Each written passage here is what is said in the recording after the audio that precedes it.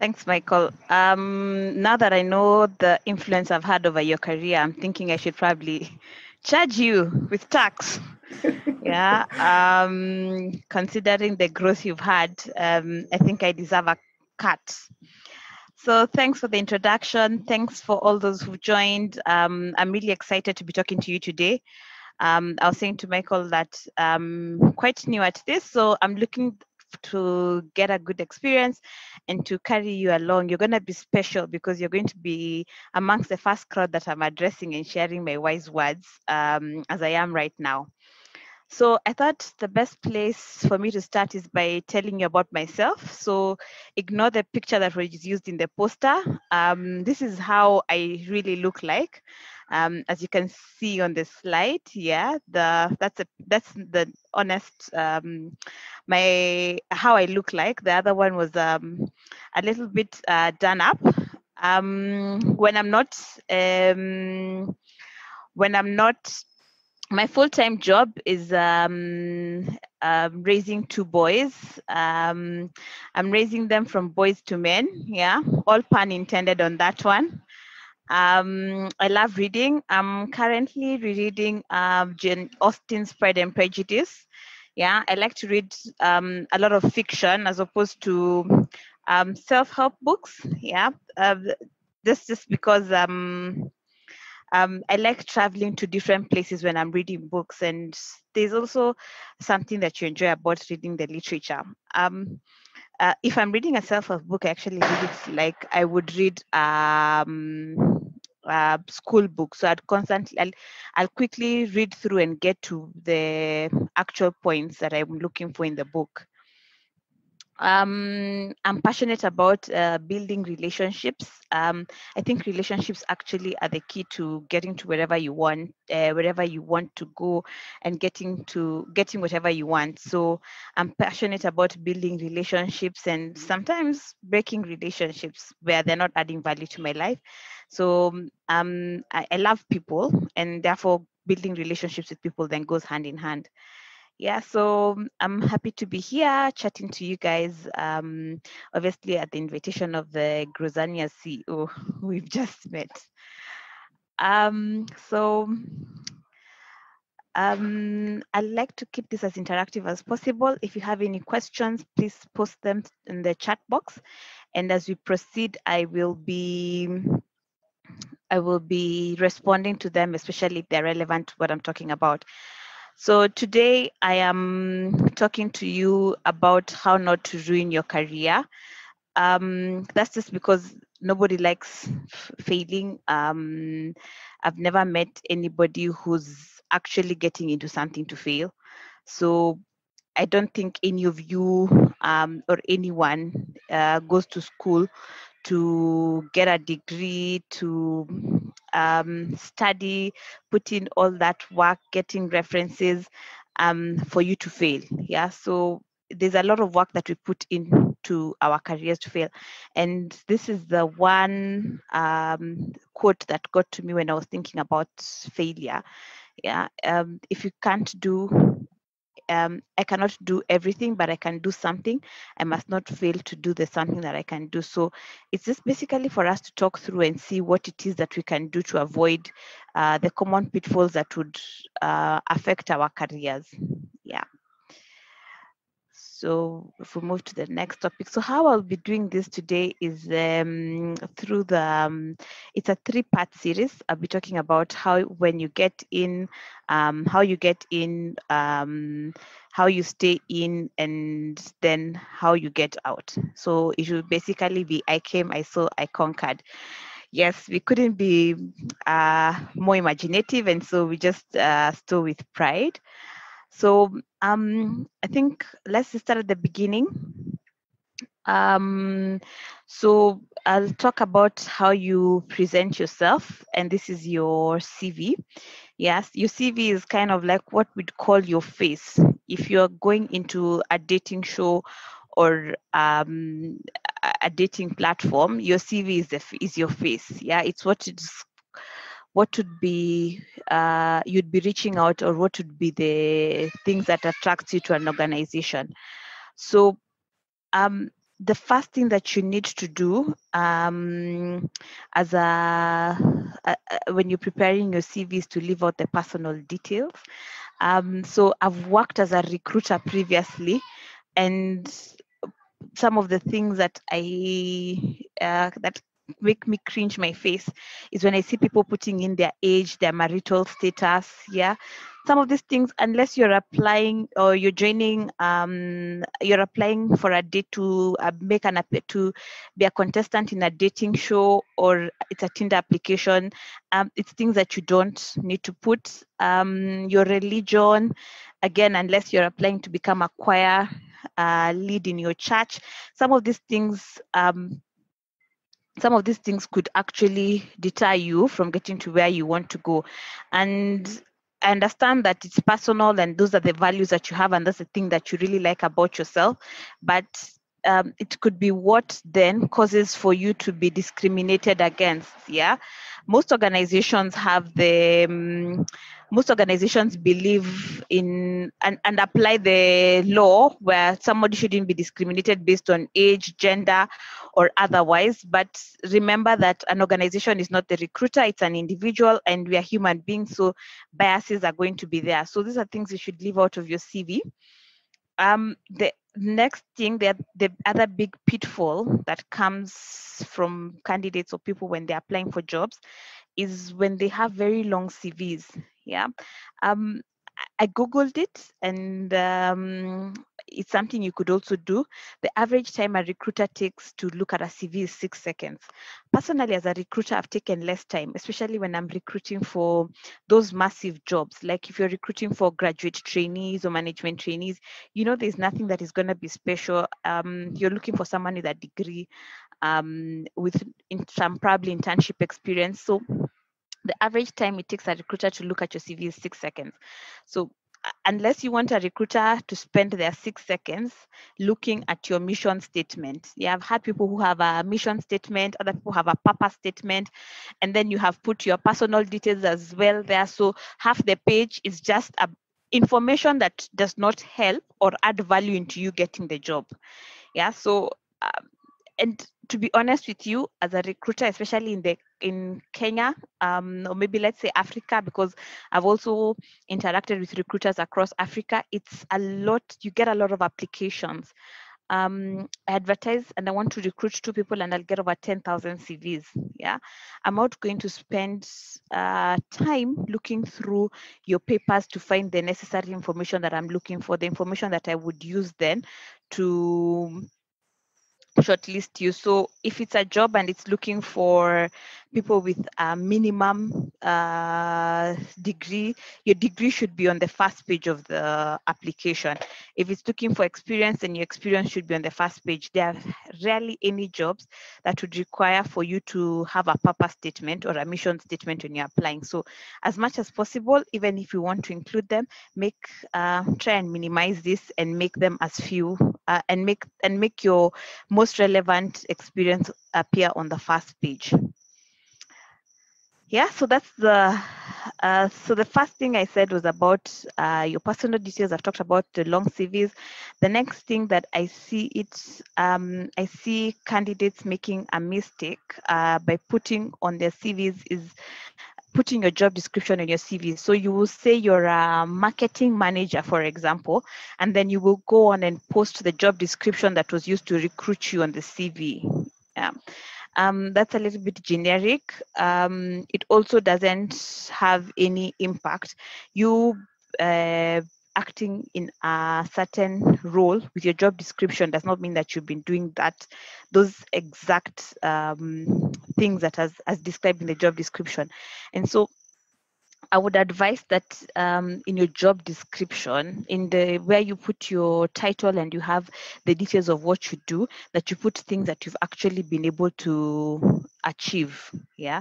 So I'll give an example. If you're applying, um, if you're a personal assistant, um, talk about how you have been able to cut, uh, and part of your work is managing budgets. Talk about how you've been able to cut um, budgets and savings and able to achieve savings. Talk about um, things that you've accomplished in your role, it also works for you because when you attend an interview, it becomes a conversation starter. Your interviewers will probably ask, How were you able to cut these costs? Um, how did this translate into savings? What were some of the things that you were able to accomplish in that state, in uh, for you to be able to achieve in this stage? Um, in that achievement that you've listed there, as opposed to uh, writing responsible for budgets, responsible for responsible for budgets, responsible for calendar scheduling, you know, put things that you've been able to accomplish. If it's calendar scheduling, talk about the way you were able to drive efficiency and better still, if you can quote a number to it, uh, nothing speaks better uh, than uh, having uh, having whatever you have, what, whatever you're quoting there in with a number attached to it. Yeah. So the final thing I'll talk about when you talk about you coming into the um, under came, would be uh, taking yourself, taking the job interview seriously. And recently, I was um, uh, being in the digital uh, stage that we're in now. I think this is the digitization stage more than we've ever experienced it before and working from home. So we are having candidates have uh, applying and interviewing digitally. Yeah, we use an application called HireVue. And I've seen I uh, have been watching videos because I'm actually in the process of recruiting for a position.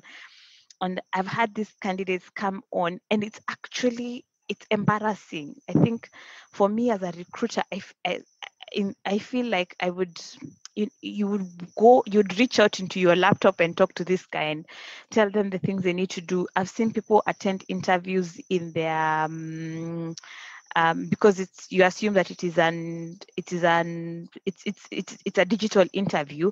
Therefore you don't need to make an impression. I've seen people attending their sweatpants um, not taking it seriously talking as though they would be talking to their friends in school or even your mates at home there's a there's a guy who was talking and i just felt like he was he was attending an interview but he was seated in a bar talking to his friends because he was snapping his hands clapping them and repeating. It's very um and it was very uncontrollable and um, it was painful for me to watch. So uh, take your interview whenever you're called for an interview seriously. Prepare, practice, and understand your CV. I know it is your CV and you own it.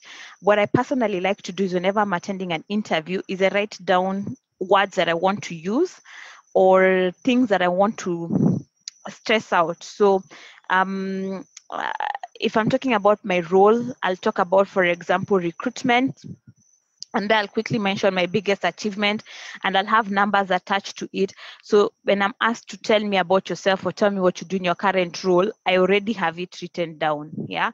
Sometimes this may not be possible because you're attending a face-to-face interview and you don't want to be reading through or uh, skimming through some written work the best thing for you to do then is to read through your CV, understand it, yeah, and then practice. Yeah there are common questions that you ask. Tell us about yourself. Um, what's your greatest achievements uh, what are your weaknesses? What are your strengths? These are questions that most likely will come through. Um, so read through your cv understand it own it that if you're woken up at night you can literally uh, read through your cv um, or talk through your cv and uh, be able to present yourself as you should yeah um anytime when you're answering questions at the interview phase especially those questions where they're sort of scenario questions tell us about a time when you were able to uh, cut costs. Just going to give you an example. So you can tell what's going on in my life right now. yeah, I'm all about cutting costs. So at this the thing that you should um, the thing that you should talk about at this stage is about uh, use the star approach yeah? So you talk about the situation that you are in.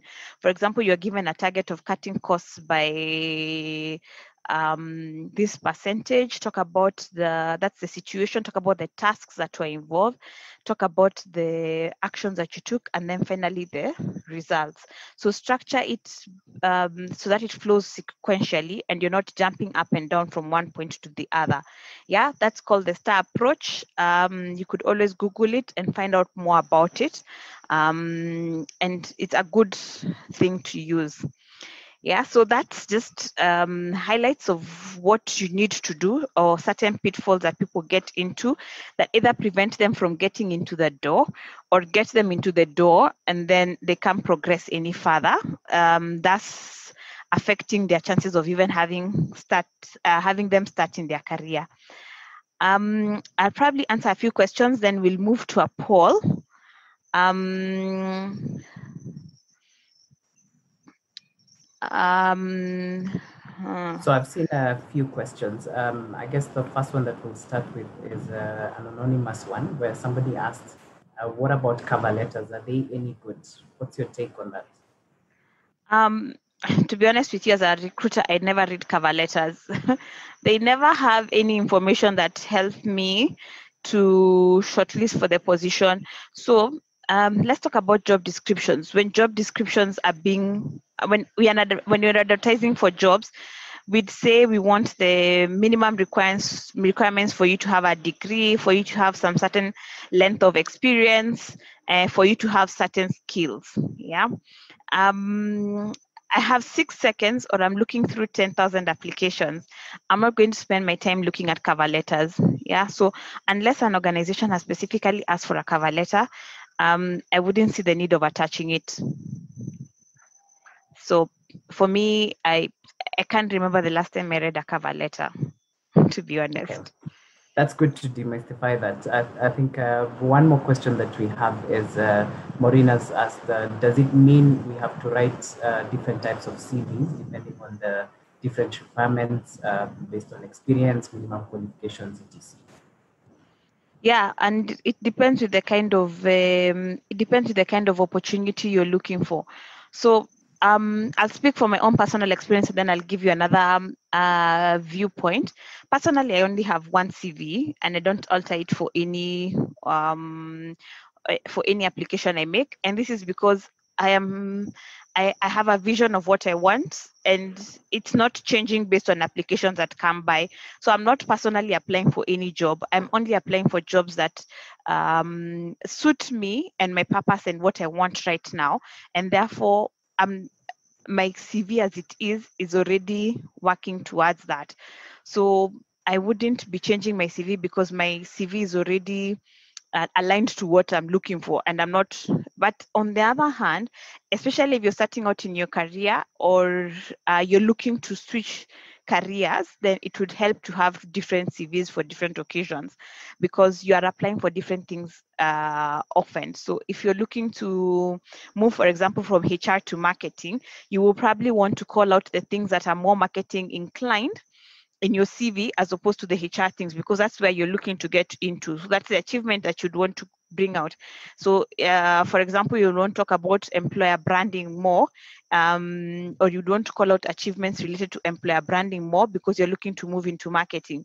Um, but personally, because I am very focused in the career journey and the career path I want to take, my CV is the same because the, I'm only applying to things that make sense to the to what I want, and therefore my CV is crafted for that. So that depends on what you're looking for. Thanks for that. I think the second part to that question is um, is it relevant to indicate your current responsibilities and your achievements as well? I think that one we've already answered, but maybe just yes. reiterate. Yeah. Um, I I I I am more impressed when I see somebody has written their CV and has and they've talked about their um, achievements as opposed to key responsibilities yeah? Because the roles and responsibilities of the role might be there. You performing on those roles and responsibilities are totally different thing. So when you put in your achievement i'm able to then see that not only do you have these roles and responsibilities but you're actually achieving on them yeah? And like i said it's a conversation starter. Um, if you put there that you were able to recruit uh, five uh, directors within 10 years of your hr career the first thing i'll ask you is how did you do it you know you already have a conversation start and you're not starting for from tell us what you do in your current role i am already seeing the results and achievements that you've written down Perfect. Thank you for that. Um, one very popular one, and I guess uh, it's one that comes up a lot, is um, the question Tell us about yourself. How do you answer that question? Oh, gosh. There's a guy I interviewed. Uh, well, he was pretty junior in his um, career. He was starting out his career, and he started telling us about how he loves his mom. And so it was very awkward for us because, yes, you want, yes, it's okay that he loves his mom, but uh, quite not what you're looking for in an interview. So whenever you're asked tell us about yourself, uh, we what you're basically being asked is talk us through your CV. Um, so, and for me, uh, but this is me. Um, I like to personalize it and and talk about myself as an individual first. So I'll talk about um, having grown up in Nairobi, um, that I have uh, two sons, and I'll talk about my personal life, but that will just be like a one liner. And then I'll move on to my education, I'll move on to my work experiences, and then finally, I will end with what I'm currently doing. And this is where I go through now the details of the remember the things I told you that you write down. I'll talk through the, those things that I've written down yeah so um, it doesn't mean that you don't talk about yourself because at the heart of everything you're a human being um, so you can talk about yourself but that is only to be one line. And then focus more on your education your skills and most importantly the thing that you're currently working on now what you're doing now. Uh, this is a time for you to boast and blow your trumpet as much as possible but only in the area related to your professional life at least that should take 80% of what you're when or even 90% when you're answering that question. The 10% is when you talk about yourself and don't go into nitty-gritties about loving your mom or loving your dog. Yeah. Um, just talk about things that are authentic to you. So don't talk about um, loving to travel and you probably don't travel. Talk about things that are authentic to you. Um, so for me, for example, I mentioned that I have um, I, I mentioned uh, just like what I've mentioned when I introduced myself. Yeah, the fact that I love reading books, the fact that I have kids, and um, and yeah, that I love building relationships. But did you see how short that was? And I am taking the rest of my larger portion of the time assigned to me to talk about what I'm actually here to talk about, which should be your skills and experience.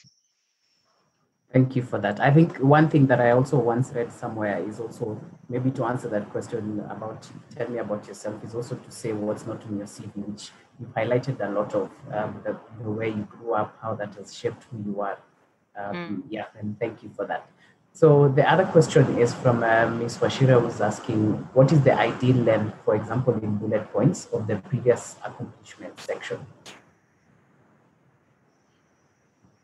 Um, how long should, yeah, in terms of bullet points, how many should you put for your accomplishments? Should you put a hundred of them, or do you sharpen the list? Um, I'd say um, a maximum of 10. I uh, personally, I'd like five because I won't read through the 10. But if you're putting, even if it's 10, make sure that your top accomplishment or achievements are at the very top. Remember the six minutes rule um, you, that way you want to ensure that whoever is looking through your CV and wanting to know your previous experience is reading it within the first um, few seconds of looking at that piece of um, what you've written there. So whatever is your greatest achievement or whatever you think for sure will get you the opportunity should be within the first uh, bullets of what you put in there. Thank you. I think that's that's a brilliant way. Um, and then we have a lady by the name Vivian who's saying, "Wow, great introduction." I think this is uh, from when you introduced yourself. Uh, she says that she never knows what is relevant when introducing herself, so she must have learned something new there. So some good uh, feedback. You can you use there. the same. You can use the same uh, to introduce yourself when you go for interviews and they ask you, um, "Tell us about yourself." Yeah. That's great. And then uh, Carol is asking how many pages are recommended for a CV. I think that's that's a brilliant question as well. um, you can have as many pages as you want. Just make sure that whatever you want to uh, or whatever has been advertised or whatever the requirements are are showing on the first page of your CV. Yeah, I would personally, if you'd ask me, I'd say a maximum of two. Uh, but whatever you want to communicate, whatever you want to be known, if you want it to be known that you have a degree, it should be on the first page and amongst the first part of your CV. Yeah, remember, six seconds is a very long time for you to be screaming skimming through the next page. So whatever you want to put, ideally you should have your name, your contacts at the top there. And then if you want to list the skills that you have, so you can talk about, for example, your um, you can operate SAP, that should be there, or you're good, um, you're able to work on off a certain system, you should put that there, and then quickly move to your, depending on what you're applying for. If you're if you're a fresh graduate, your education should be at the top bit, and then then your experience if it's internship. If you're a seasoned um, job seeker, then ideally you should quickly move from your skills and the next should be your experiences. Yeah. And then um, at the end is where you put your education because uh, if I'm looking for somebody like a marketing manager, I'll want to know have they been a marketing manager before? Then I'll be like, oh, by the way, have they, do they have a degree? Have they done this course? So I'll go, I'll have the time to go through that. But ideally, whatever you want to be seen should be on the first page. Uh, don't go more than three pages CV. Ideal is two. Uh, yeah, but then as you progress into your career, I guess it will become longer and longer. But then the reason why CVs become long is people put in their roles and responsibilities in the um, previous work experience section. Thanks for that. I think um, I just want to pause there. Um, I do see a few more questions that we have, um, requesting that we'll answer those at the very end. Um, just want to do a quick poll, just just a temperature check where we are. Um, I guess you should see that on your screen. The first uh, question is, how long do recruiters take to look at your CV? I think uh, Annelise mentioned what's what the time is, and she even asked that she, we can challenge it and and find a different number on Google, she'll give you a hundred thousand shillings. Um, but yeah. so how long do recruiters look at CVs? Is it one minute? Is it three minutes? Um, I can see a few answers started coming in. Most people saying six seconds. And then the second one is what is the best way to showcase your previous roles on your CV? Is it roles or responsibilities or is it your achievements? And then the last one is what details are necessary on your CV? Um, you know, just tick all the ones that you think apply in that particular situation. Okay, so great to see that most of us are following. Um, I like that at least here we, we 100% of people are right on the, on the first one. Yes, recruiters only have six seconds to look at your CV. And then what's the best way to showcase your previous roles? So it's definitely, you know, by, by highlighting your achievements and not necessarily your roles and responsibilities then what details are necessary. Of course, um, put what is relevant and leave out what is not necessarily relevant, like your age, marital status, and your religion. So thanks everyone who's following. I uh, really appreciate that. Then um, I guess we'll move on to the second sec- session um, for you Alice. Uh, like you mentioned, you, you, built it into three. You have I came, I saw, and I conquered. Um, yeah, so we have in the I saw section. So over to you, Annelise. So um, congratulations. Um, somehow you managed to make it through the interview room and now you're on the inside. Yeah, so you have been given your desk or you have um, been given your badge, your work badge, and you're starting on your new job or your career. So I'm going to talk through some of the pitfalls that you should avoid um, so you've just made it through, and the first thing you're doing is onboarding. Yeah. So some of the pitfalls that I see at this stage is people taking it lightly, and you know people will walk around and tell you it's your honeymoon stage. Um, but that's not it's anything but a honeymoon.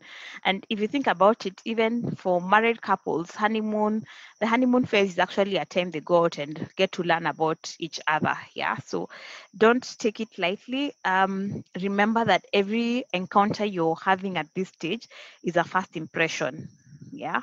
Um, it's um, it's also something that people will constantly it will it sort of become your trademark should you have an an incident or fail to or be fail to do something as you should so um, an example I can think about is people who come late. So if you're always late for your session, you will be known as a person who comes late for things. Yeah, because you did this during the onboarding phase and you didn't think it was going to be anything major because you've been told that it's a honeymoon stage. So your your interview, your onboarding is just as important as the role. Yeah, how you onboard into the organization is important. At this time, you should take time to listen more. Um, ask as much as you can as well because this is how you get to know about the business and last year uh, during one of the onboardings i did and we were talking to people about learning i remember there was uh, one of the new people who came in and um, we told them and the, they were basically being onboarded and being told to download an app which would help them learn faster within the organization. And what this person did is they responded and said that they don't have enough space on their phone to accommodate the app. Yeah? It's probably true that they don't have enough space but the the way it was said it was coming from a space of i don't that's not a priority for me. Um, sometimes it's good to just keep quiet because what happened then is um, a few months later and this person was not performing the first thing that somebody mentioned was this is the person who said yeah? So first impressions people never forget first impressions. Um, i'm sure if i ask around the room now if you can remember the first conversations you had when you went into the organizations you are you're currently in or the relationships that you currently have um, you will remember what that person said to you the first time. Um, and usually people tend to remember the bad things yeah? People will not remember the good impressions that you made when you joined an organization. So it's um, important that you take your uh, onboarding seriously and that you you remain conscious um, that whatever you're doing is creating an impression that lasts a long time and sometimes can even go over and above your the person that you're making the impression with um, i think you've had rumors of somebody who's come and they came and what they were talking about was not rubbing people off the right way so that's not only the con the one contact that you're making but even second degree and third yeah you know it can get to six people in under a minute yeah based on the kind of um, how you're presenting yourself. And people never forget. I'll tell you that for a fact. I've sat in review forums where people talk about how somebody joined the organization. That's a year into their job. Yeah, this is a, basically it's um it's out of the halo or horn effect, based on. Uh, it's usually a pitfall that uh, I, I wouldn't want to say interviewers, I'd say human beings have when they everything you do is impacted by the one thing that you did. Yeah. It could either be positive or negative. Yeah. So that's the first thing. The second thing, uh, the second pitfall you can have is constantly referring to your previous job. I'm guilty of this and um, it happens a lot also when you come from an organization where things were um, very organized there was a system to how things are done and you move into an organization where this is not the case. So you find yourself um, talking about you know in my previous job you know um, in my what we used to do um, yeah so it can become offensive especially to the people that you're talking to because the question they'd want to ask you so why did you leave your previous organization? You'd have just stayed there if it was that great.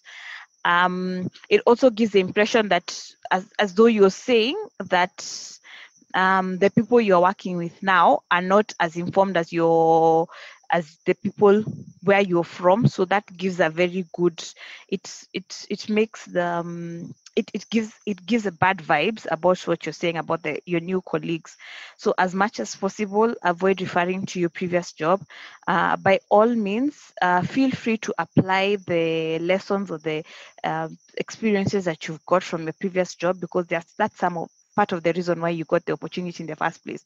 But avoid um, making it um, such that everything that you do is linked to your previous job or all the experiences you have are linked to your previous job.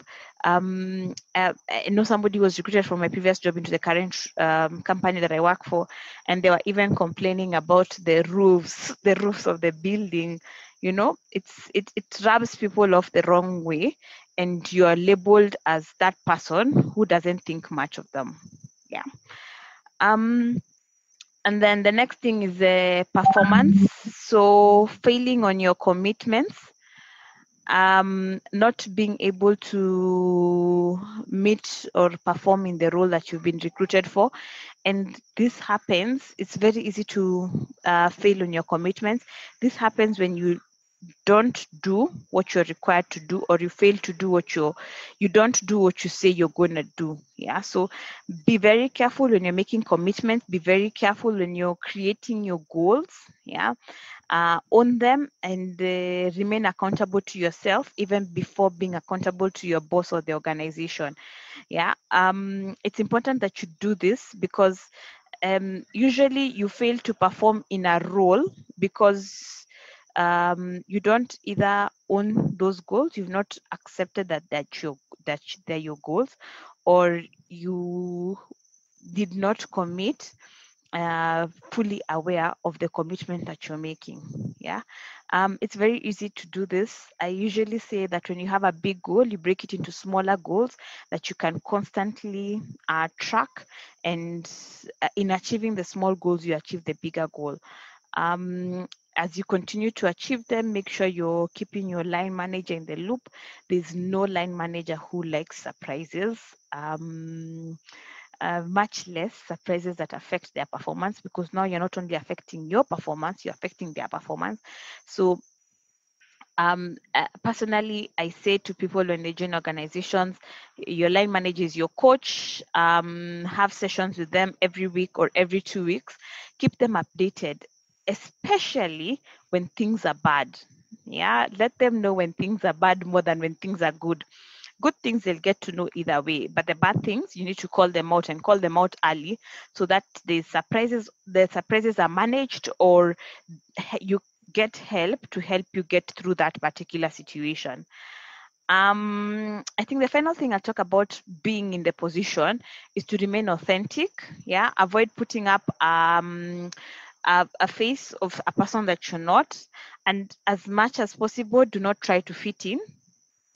Um, there's a reason why they hired you and they didn't hire somebody internally.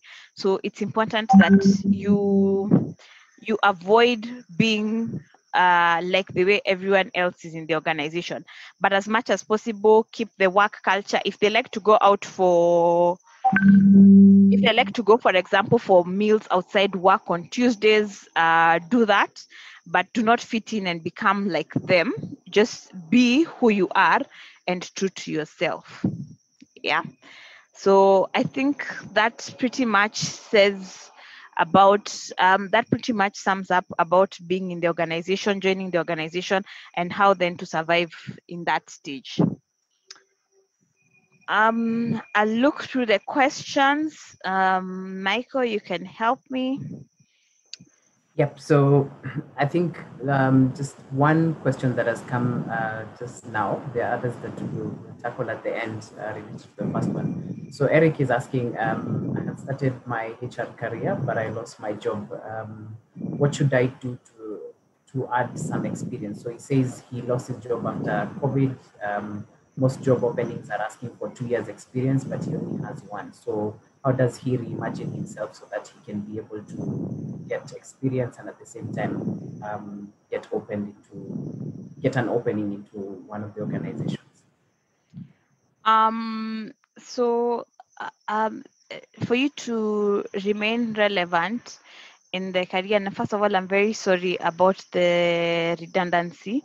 I'm conscious that this is happening to a lot of people, and um, it's something that you could not have foreseen. So I'm very sorry about that. Um, how I'd say to remain relevant is to this is not the time to be choosy about the opportunity that you get. So, um, if you can get some volunteer opportunities, get involved in that.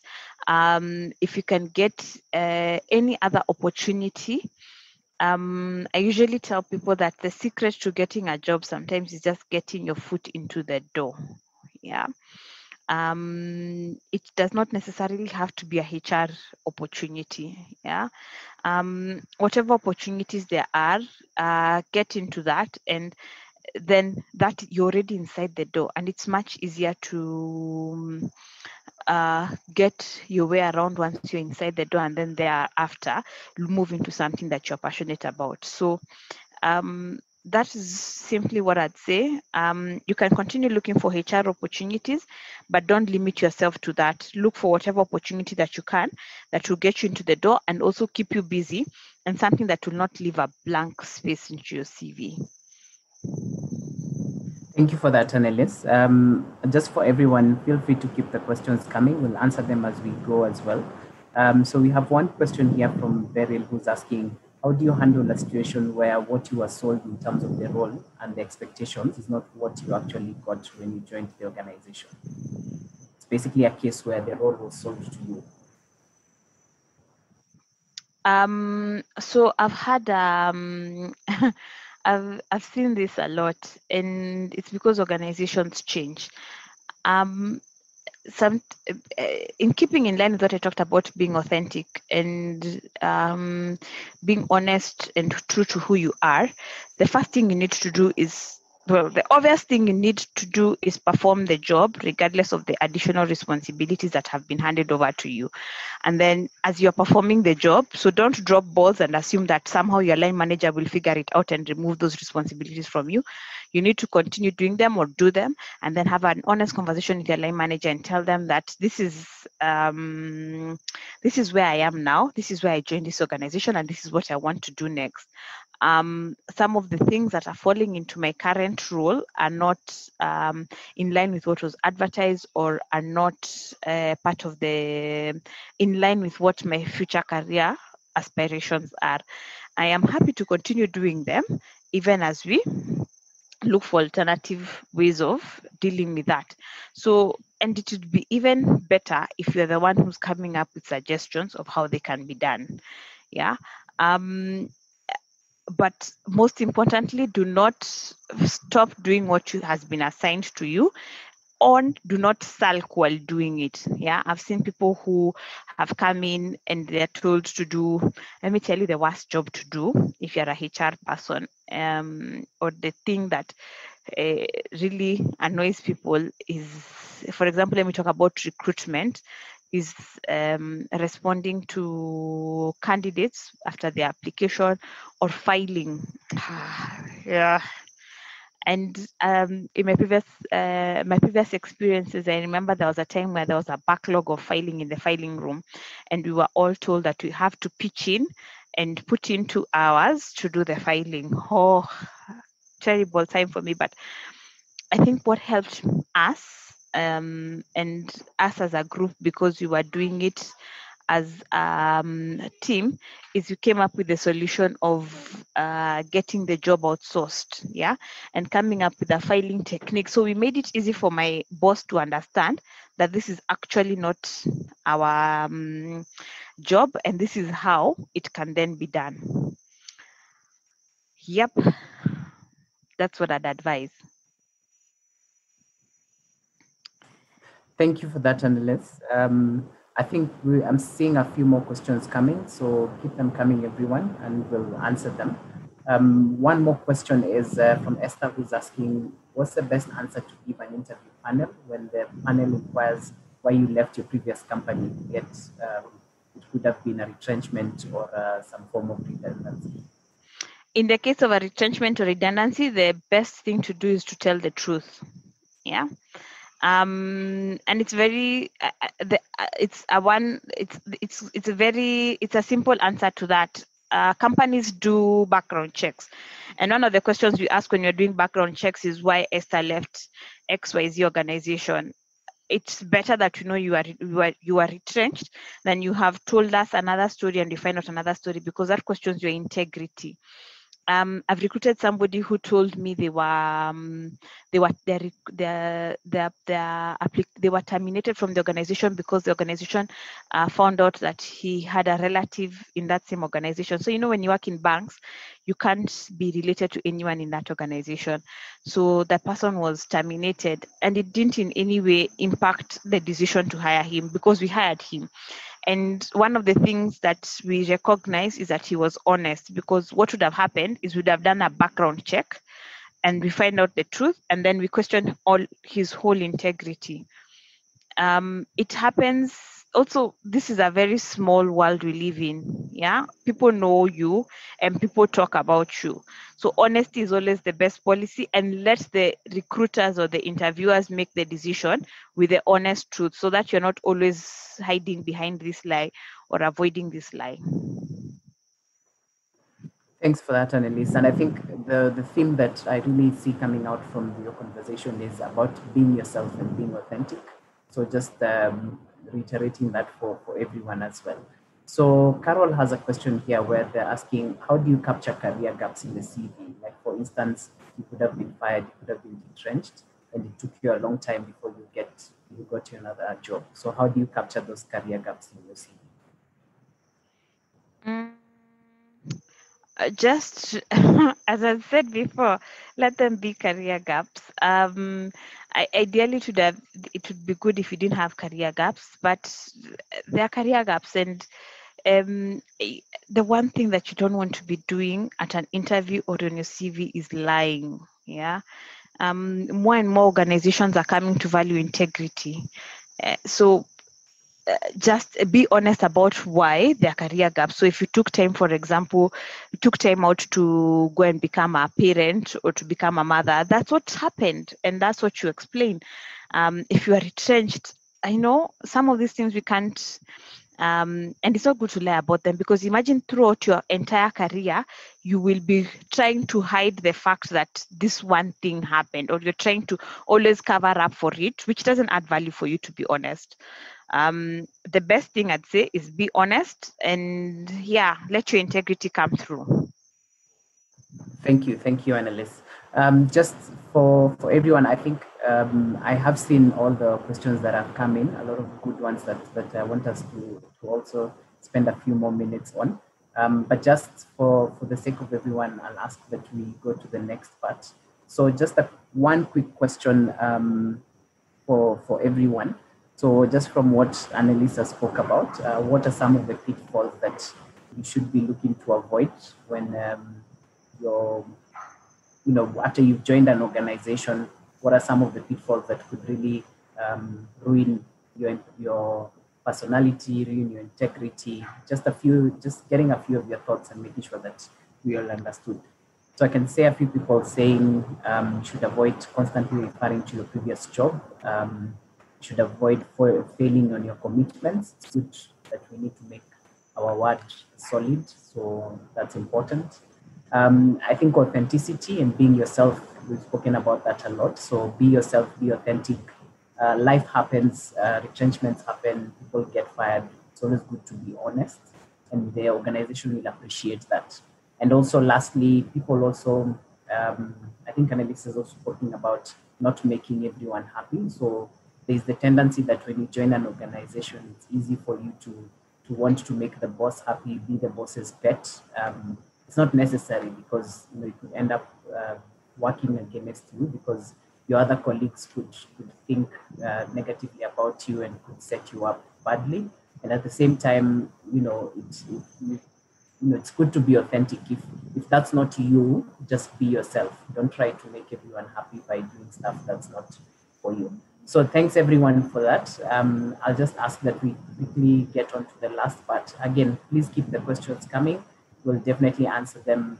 Um, we have some more time for the question and answer at the very end. So what to you, Annalise, on the last part about what to do for your career? Yeah, I conquered it. Yeah, so I conquered is uh, I'm going to be talking about your exit out of the job that you're currently in or um, exiting out of your career, whatever it is. Yeah, um, uh, it's an art, and I acknowledge it's something that doesn't come natural for Africans. Um, considering how long it takes for us to leave uh, someone's house after a visit, you know, we say goodbye, uh, then you say okay, and then you talk a bit, and then you say goodbye. So by the time you're leaving, um, it's two hours later. So it's something that doesn't come natural for us, maybe even as Africans. So knowing when to leave is actually something that it's something that you need to think about and not just live for the sake of living. So I'm going to make it very short and um, then I'll deal with any questions. So if you're living because of money, um, that's just it's it's not going to work and it's it's a very bad reason to leave um, this is because and if you read about the various motivation theories there are um, money is usually a hygiene issue money is something that um, it's it's good for now, but then it doesn't keep you motivated for longer. And because you'll never have enough, you will have now. And within, I've had people. I mean, I've recruited people who, and I remember this one time I recruited someone who came and he was earning five times more than what he was he was currently earning at that point, and he signed the letter immediately. And I can trust me, in two months he was complaining about how much uh, the amount of money he was paying vis-a-vis what his colleagues were earning. Never mind that two months ago he was not he was earning a fifth of what he's earning now. So um, money is a hygiene is is a, is a hygiene issue. I learned it in school and I see it every day. And even for myself, I've turned down opportunities that were going to pay me a lot of money, but then I would I felt that that would only take care of that now one of the jobs that I turned down is because the company had a bad culture. And I thought to myself, yes, I'll earn this money, but I probably it's not sustainable. I will not stay in that organization for as long as I um, as I want because I'll want to leave that situation. It's a messy situation. Um, quitting because you're in a tough situation, yeah. So you always quit when you know that your current employer will give you a counter offer. Quit while you're at the top. Um, they say quit while you're at ahead, when you're ahead, but uh, quit when things are you have accomplished and you have done everything that you were going to you are required to do in that role. Um, quitting when you're issued a performance uh, improvement plan, when you're put on a disciplinary hearing for performance, I'd say take uh, the time to get a coach and conquer that uh, improvement plan that you have so that you're able to uh, get out of that bad situation and you're not moving out because of problems. So improve your performance and then move out once you've improved your performance. Um, the last thing on why you shouldn't leave is quitting a line manager. Um, I've had a lot of people who have had toxic line managers and they quit. Um, good example I'll give on this is somebody who quit because of their line manager and they had to serve notice for three months. And within those three months, their line manager was actually terminated because of um, how they treat their employees. So you've quit because you're a line manager, but your line manager has been terminated and you cannot withdraw your resignation. So to be honest with you, um, tough it out and don't let someone be the reason why you quit. Yeah, quit because of something else, but not a person. Um, so I, I, guess the question you're asking me is when then you should quit, when you should look for other opportunities, what's the right reason?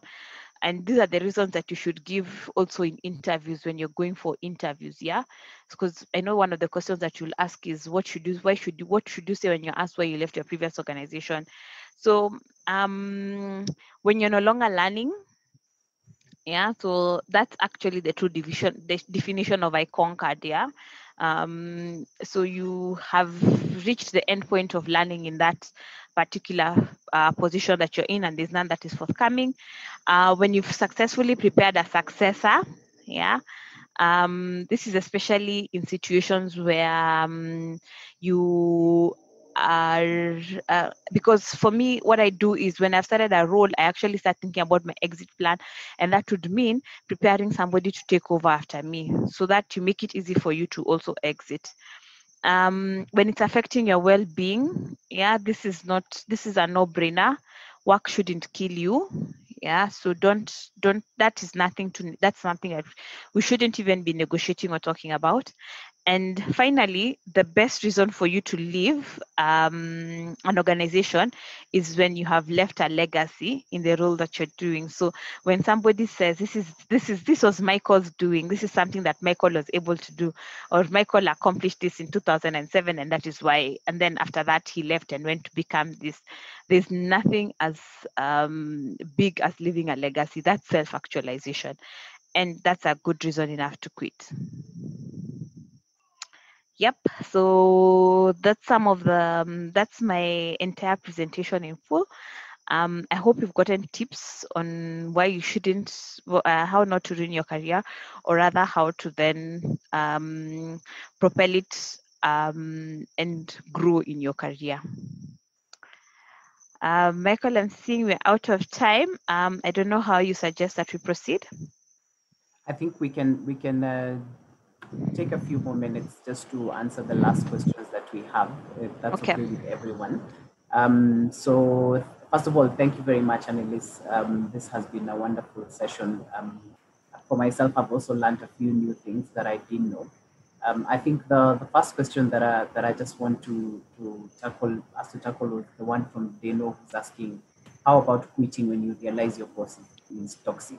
I just saw the, the, the, question pop in before you spoke about um, you know toxic like managers, but I, um, I think it's it's important just to reiterate: um, is it the right thing to quit when your boss when your boss is toxic, or what is the about? Um, I'll, I'll uh, toxic line management is a whole other issue. So be sure to tell Michael if you want me to come back again and talk about uh, how to deal with a toxic line manager. Uh, but personally, I wouldn't uh, quit because of a toxic line manager. I don't like quitting things because of people. Um, the good thing about human beings, unlike buildings, they move. Yeah. Um, I'd quit for another reason, but a toxic line manager. It's a very bad decision to make. And uh, this there are different ways you can deal with a toxic line manager, uh, but don't quit fundamentally because of a toxic line manager. Thank you for that. I think one question here from um, from Julie. She's asking, how best do you choose your referees?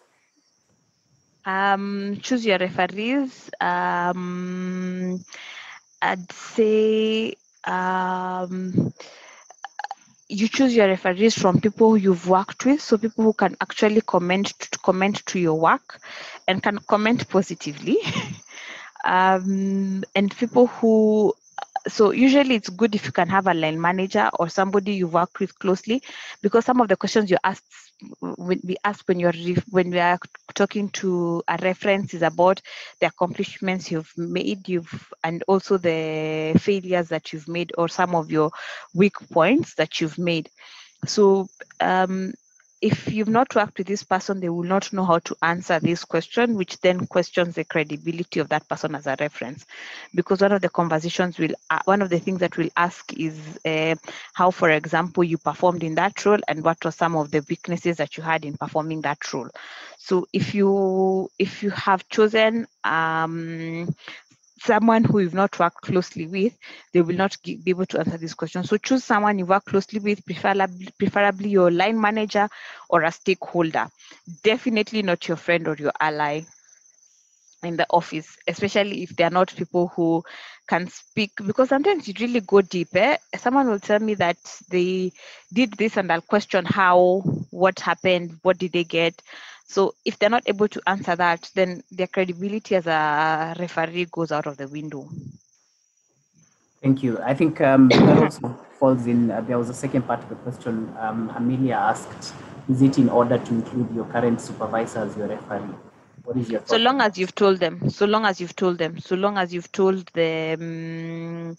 So long as you've told your current uh, supervisor that you're looking for a job and that you've listed them on your on your CV. And any referee that you put, please seek get their permission to use their um, to to use them as referees on your CV. um, um, I'm seeing a question if your line, toxic line manager is causing me health problems like like hypertension. They shouldn't be causing you health problems. That is why you should ask uh, Michael to invite me again here to talk about uh, toxic line managers. But if your health is compromised, um, on a serious note, whatever the um, whatever the what whatever is causing the health problems, whether it is the environment, whether you feel it is the line manager, um, you are needed al- more alive than um, dead. so uh, your health comes first, regardless of uh, what is causing the health issues. But toxic line managers are not um, as toxic as you are. Um, if you take the, if you're able to take control of that situation, which is a whole conversation. It's a one hour or more conversation. It's it's quite detailed, but it's not. It shouldn't be the breaking point of anyone because you can never control who you work with. You might leave that job and you end up with another toxic line manager, or you could be the one who's toxic. so don't. Um, it shouldn't cause you hypertension. I really like that. You could be the toxic employee, but you're thinking your line manager is toxic. So, but yeah, if there is health problems involved, definitely that could be a reason to consider. I think yep. we have a good anonymous question here. Um, somebody is asking, is there a time on how long one can work for an organization? Is there a time limit? No time limit. No time limit. Remember the reasons why you quit an organization. Do not, um, do not, do not quit do not uh, quit an organization because of time. Like time should not be a factor of your success. Yeah. The same way, you don't uh, think about it like when you're eating food. You don't st- stop eating food because the time is over. You stop eating because you're full. Yeah. Make sure you've accomplished what you're supposed to accomplish in that job personally you've learned what you are going to learn when you took on that job. You've made the achievements and accomplishments you wanted to make in that role and then quit the job. Not use time to determine when you quit a job. Thank you. Um, I have found a, quite a, a, nice question here that i think um, is interesting for a lot of people.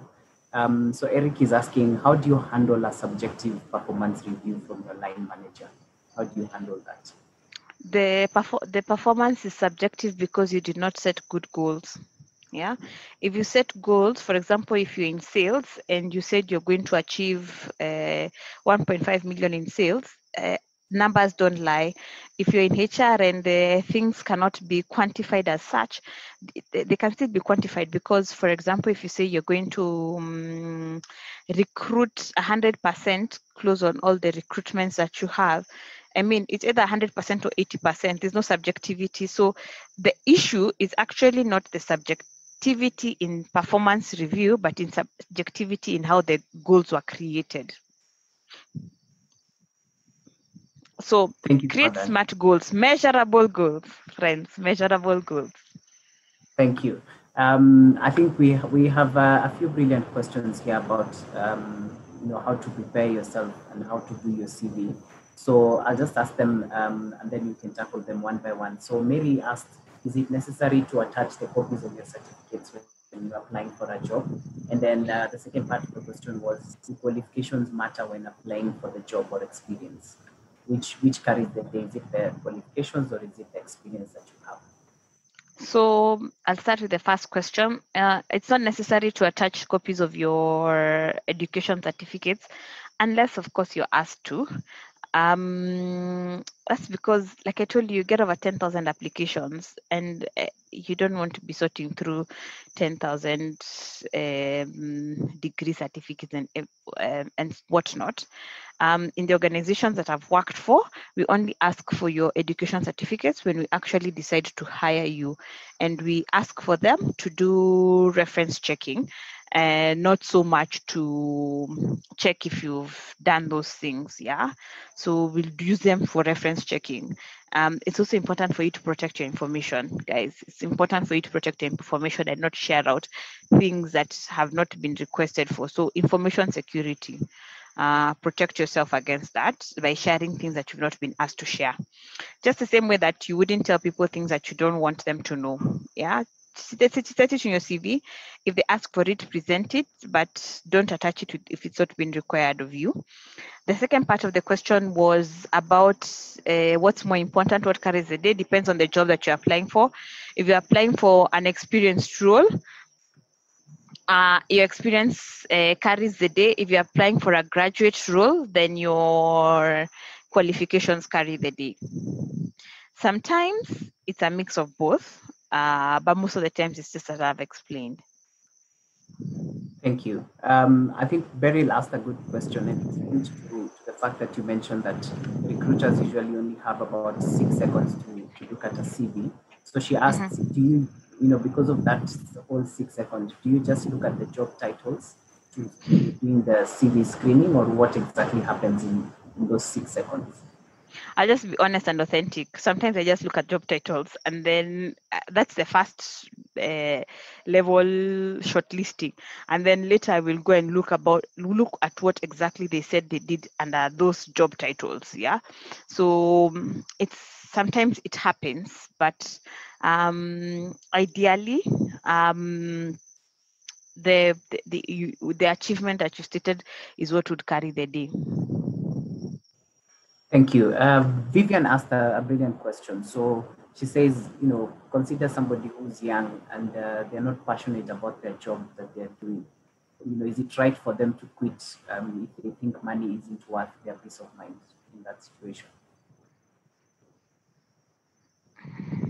Don't quit until you have another opportunity. I'm just going to, that's my honest truth. Ideally, people, you'll be told that uh, do what you love and then you'll never have to work a day in your life. But guys, this is Africa. Jobs are not just out there waiting for you. I'd say you continuously seek for the job that you're looking for. And what that would mean is you stay in this role, perform in that role, because in every opportunity that you have, friends, there's something that you're learning yeah so it's not don't look at it as something you don't love look for the lesson that you're gaining there um, and then uh, as you continue to look and when you get something that you have gotten at least you'll be moving with having learned something or having taken something out of it. So don't quit until you have something else and then look at that opportunity that you have as a learning opportunity. Ask yourself what am i supposed to learn out of this? What is what is in this that i'm supposed to be picking um, thank you for that, Annalise. Um, there's one question here which I think is a bit is a bit interesting. Um, Eric is asking, why is it that when you attend an interview, you know, the, the panel would ask you two questions like, how soon would you be available to start? But then at the very end, you end up getting a, a regret, or maybe they don't even send the regret letter. You know, why is it that you have to ask that question at the very end of an interview? Because it's part of the questions that are stated in the interview sheet. I'm joking.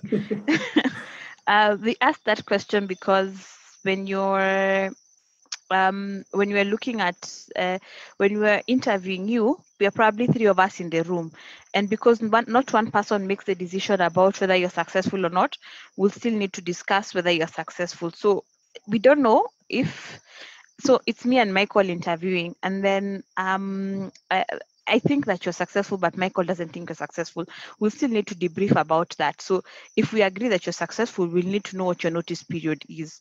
So it's not necessarily when somebody asks what your notice period is, it's not necessarily a job offer. It's just to check um, when you would be available. It's basically just for that. And then uh, should you be successful, then they have that in mind. Thank you. Um, there's some good compliments here from Susan, who's saying uh, this is a great session. Uh, good job to mostly me, but she's also mentioned your name, but good job to you too, Annalise. So thank you. Um, I think one of the brilliant questions here is, is from an anonymous person where they're saying, you know, there's a question that's often asked, what are your strengths and your weaknesses? How do you answer that? I can't, um, I'll say the truth honestly honestly uh, everyone has weaknesses everyone has strengths so the minute you start um, lying and oh my gosh do not give those uh, weaknesses like i'm a perfectionist no no one is buying that. The same way that you don't buy it and you don't believe it, and you had to go and look and say what you just say the truth. Um, if you're bad at receiving feedback, just say that you're bad at receiving feedback and it, you're trying to work at it, and this is what you've been able to do so far. So talk about the things that you've been able to do to get over that weakness. But the do not lie and do not give those cliche uh, weaknesses of I'm a perfectionist um, um, because they don't fly and we don't believe you. Um, and usually you will know the recruiters don't believe you or the interviewers don't believe you when they ask about the, your previous feedback from your line manager. Be honest about it. Um, that said, don't be too honest and give too much detail on how bad it is or uh, don't give your worst weakness. Give the one that has been mentioned to you you're even self-aware about it and then um, talk about what you've been doing about it because i hope that you're doing something about your weakness. And having weaknesses is not necessarily a bad thing. I'll just say that. We are all human. Yes. So one question here again from an anonymous person they're asking um, what's the future in terms of recruitment? How has uh, this whole COVID situation affected human resources within organization? And how what is the best way for one to position themselves to get a job? Um, the to be honest, uh, the the recruitment space or what has changed in it in terms of I'll talk just talk about first of all demand and supply. Um, the supply is low. There are few. I mean, the demand is uh, high. There are more people looking for jobs than there are jobs. So, and that's because of the economy and how that has been impacted. Uh, there are not very many firms hiring right now. Um, uh, in terms of the actual recruitment process of it, uh, most of it is now digital. I'm actually planning an assessment center. Assessment center is where you come and you're given uh, different um, tasks in a day, and it's going to be a virtual assessment center. So um, it's changing in that way. In terms of um, how to position yourself, uh, just as you've always positioned yourself, we are still recruiting human beings, uh, believe it or not. Um, uh, uh, the things that you need to invest in is obviously things that go that have to do with virtual. So if you're invited to especially a virtual interview, make sure you have a good connection. Um, present yourself as you would in a normal interview, dress up, um, and perform as you would on a face-to-face interview. Yeah, virtual doesn't mean that you now lower your standards. Uh, but otherwise, um, all the things that you are looking for uh, previously still remain. Yeah, the, the, the, uh, what has probably changed and will continue to change is that um, because the ways of working are changing, we might be the, the jobs that are currently in the market might also be changing. There might be more demand in certain jobs than there are in others, and that's just because of the nature of how the world is changing. But in terms of uh, how to present yourself, the same the same way that you would before applies. Thank you. Um, Julie is also saying uh, awesome session, asante sana. Um, so thank you, thank you.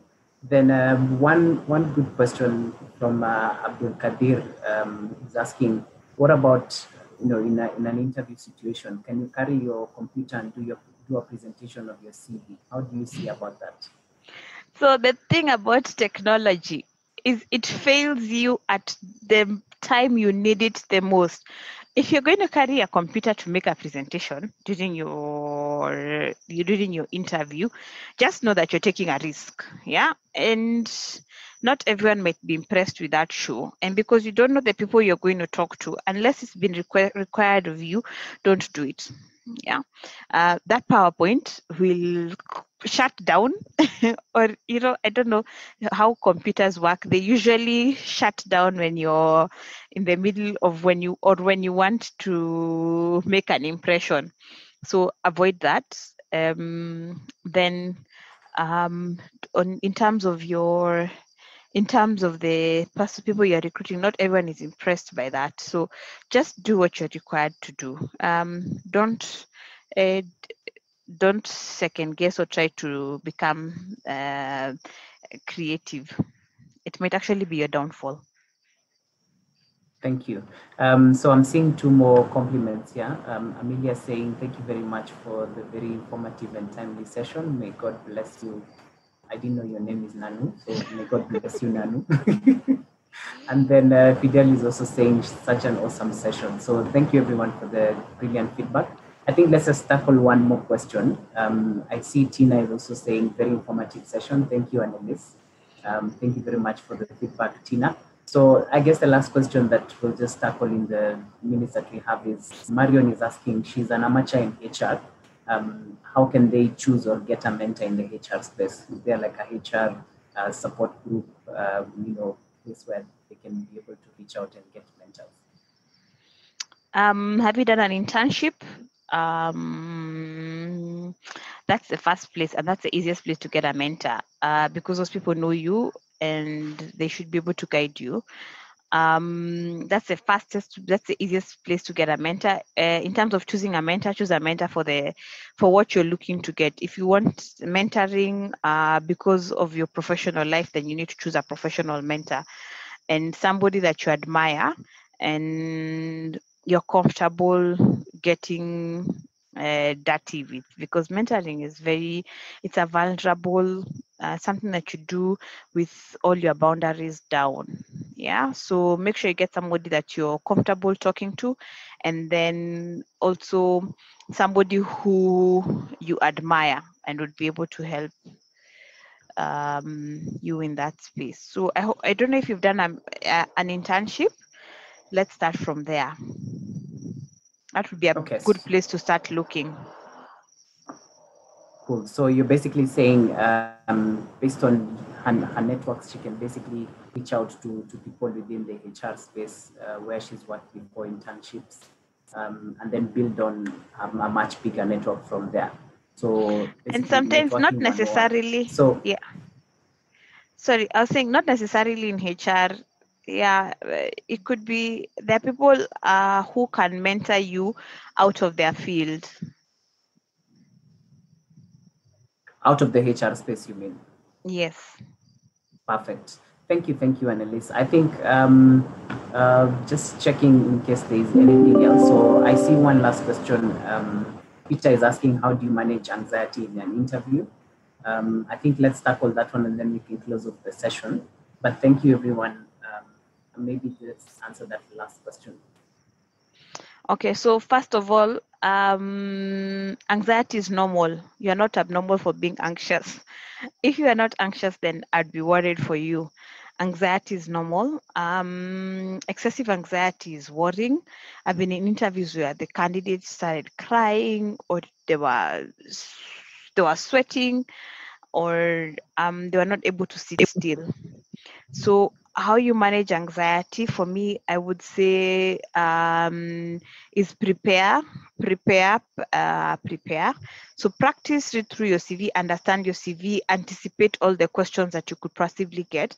Therefore you kind of you kind of have this control aspect that you know what is coming at you and you know what you're presenting and what you're all about. So that kind of kills the uh, anxiety to some extent. But otherwise if you're not anxious then there's something wrong. Either that job is not challenging enough for you or um, there's something wrong with you uh, attending that interview so anxiety is not bad uh, just prepare to lessen the chances of it going overboard I think one last thing that I'll add there is also maybe to get there on time because it allows you to kind of breathe in and not be, be feel rushed when you get into the interview. Um, So Mhm. maybe get in a few minutes early, um, Mm. just have some time to, to breathe in, relax. I don't know if you want to take, uh, I see an, an, interesting question here, which I think I really also want to know the answer to. So somebody anonymous is asking LinkedIn, how powerful is it in terms of positioning oneself to get a job?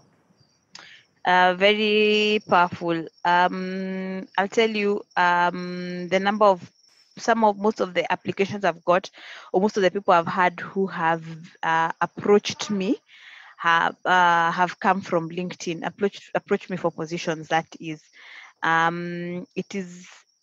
Um, it is more important if you're an experienced hire because us recruiters use it all the time to recruit. So if I'm looking for um, marketing managers, it's very easy for me to go into LinkedIn and type in marketing managers in Kenya, and it will bring all these profiles of people that I can consider for the role.